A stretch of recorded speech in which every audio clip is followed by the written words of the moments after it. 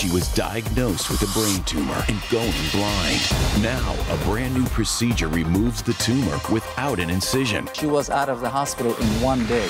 And there are a lot of causes of brain farts, and we have the top three right here. Changing rooms. Literally, you go through the door and your mind goes blank. Drinking soda. It can cause memory loss and other nerve problems. Why we lose our minds and what we can do to prevent it from happening on The Doctors.